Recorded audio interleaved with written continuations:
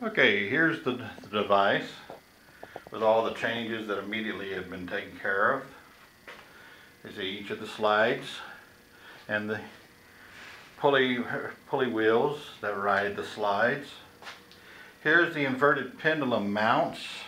And you see they are designed to be mounted with many different possibilities as well as we have a pulley here for belt for other possibilities in this design. So it's been designed to be adjusted for many possibilities. Right now, let me just take this piece up here and uh, and if I just drop it, as you see, it doesn't do it by itself, but it does almost make it all the way around, but not quite. But what happens is we have very little pressure needed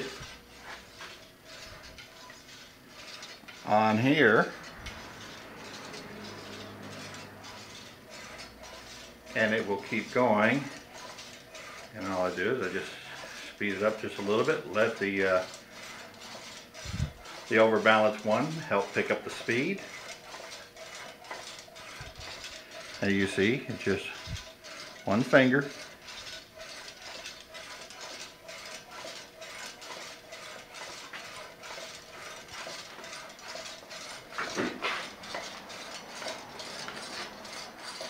Now, if I grab both sides, it can pick up even greater speed.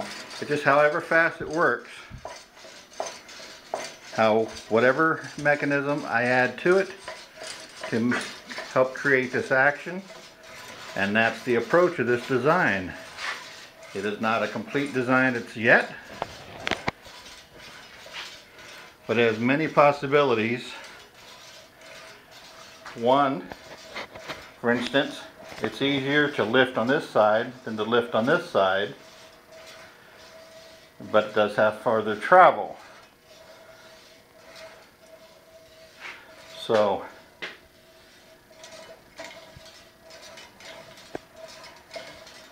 a little extra weight there.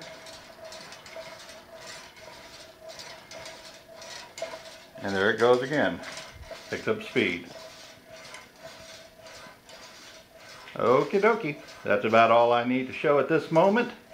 The, uh, the stand is a temporary back there little piece of uh, PVC pipe to keep it from throwing out of balance and falling over. That is working for the testing purposes stage. Okay,